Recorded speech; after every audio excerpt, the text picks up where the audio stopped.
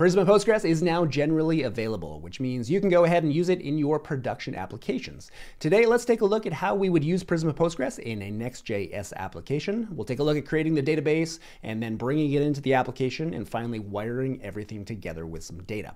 We're going to work on an application that's based on this guide that we've got in our guide section of our docs. Use Prisma ORM with Next.js, so you can follow along with this as well. You can find a deployment ready example on GitHub as well, and that is actually what we've got sitting sitting right here. Prisma Next.js is loaded up. We have got a schema, we've got a user model, a post model, and now we want to get a Prisma Postgres database put together to back this. So let's swap out SQLite here. We don't want SQLite, we want Postgres, and then we want, of course, env with database URL. That's going to be in our environment file. Why don't we create that environment file right now? We can do touch.env. And now let's save the schema and we'll head over to the Prisma data platform. So over here at console.prisma.io, this is where we would set up our Prisma Postgres database. So come over and click New Project. Then you can give it a name. I'm just going to choose this suggested name here. We'll say we want to get started with Prisma Postgres, so that is selected. And then there are a few regions we can choose from. We have currently got US East, Europe, or Asia Pacific. I'll choose US East, that's closest to me, and then create project. Okay, so things are provisioning here. The database is getting wired up and getting set to go. So now we see connected, that's great. So really quick, we are able to get our database connected. And what we've got down here, if we scroll down a bit, is a database URL that is given to us. This is our connection to the Prisma Postgres database via Accelerate, specifically through an API key. All right, so let's copy this. And let's come back over to the project. Then in the environment file, we can just paste that in and then close that down. So that's all set to go. Now, since we've got our model all set to go, we can actually just go ahead and do migrations at this point. And what that looks like is this, npx prisma migrate dev. Normally I just choose init for the name for the first migration. All right, so we're all set to go there. Let's check this seed file out. We've got seed.ts, and what we've got in here is some fake data that's going to be used in this application. And we can run the seed file to get this into the database. Let's do npx prisma db seed.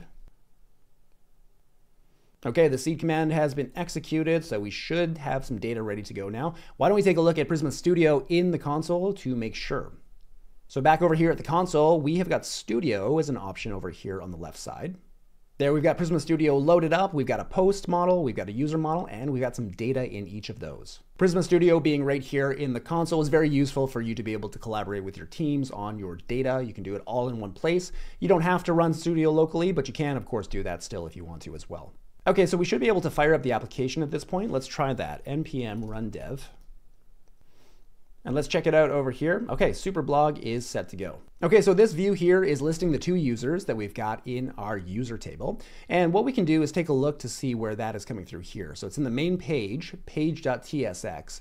What we're doing here in this component is because it's a server component, we can just look for those users calling Prisma as if we're on the backend because at this stage we are on the backend with Next.js. Of course, the story would be different if this was a client component. So if we were doing use client, this wouldn't be valid, but we are doing a server component here. So we're able to do any kind of querying that we want with Prisma ORM right here. Okay, let's check out another page we've got here in the application. We have got this post page. So if we go to posts, we see a little bit of data here. We've got some posts by Alice, one by Bob, and this is all here because we've got this post directory here in our app routers. So we've got posts, we've got the main page for posts where we are doing a query with Prisma clients, and that's again because we're on a server component here. We also have this spot where we can do new posts. So if we take a look in here at this new post spot, this renders together a form, which we'll take a look at in just a second. And because we're using use server here, we're able to do that server action where we create the post with Prisma as well. So let's take a look for that. So post, and then we can go post slash new. And then this new post form here, of course, is just one where we can enter another post, another post body, create that post another post is showing. So we were able to create that data in our Prisma Postgres database. We can take a look for that actually. If we come over here and we refresh our post model, and there is our fourth post, the one that just came through. Now something we can do very easily because we're using Prisma Postgres is we can choose to use Prisma Accelerate. Prisma Postgres is served by Prisma Accelerate and Accelerate gives us some really cool things like connection pooling and caching as well. So let's see how we can wire that up really quickly. All we have to do is come in and install the extension npm install at prisma slash extension accelerate. Okay, we've got the extension installed. Over here in our lib directory, we have got prisma.ts, and this is a singleton that we can use across our Next.js application. What we want to do here is extend the Prisma client instance to use Accelerate. So let's take a look at that. Let's import with Accelerate. So import with Accelerate, that comes from extension Accelerate. Now here, let's call for dollar extends. And that's really it. We can save that now. We can come over to our Prisma Data Platform. We can go to Accelerate here.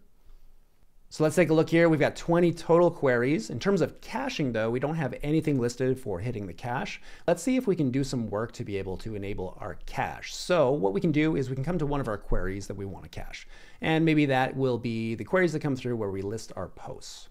So here on our cache find many, let's do cache strategy, and we'll list out a TTL of 60 and then also an SWR of 60. SWR is stale while revalidate, and then our TTL here can just be 60 as well. And so let's do some refreshing over here in the application, see if we can get some of these results to be cached.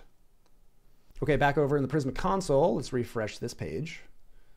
Okay, cool. We've got some cache configured queries coming through now, and we can take a look down here at what we get in terms of latency. So if we're hitting the origin, it's average of 334 milliseconds, but if we hit the cache, 10.5 milliseconds. So a huge improvement, which if we add caching through Prisma Accelerate to our queries in that fashion, will improve the performance of our applications dramatically.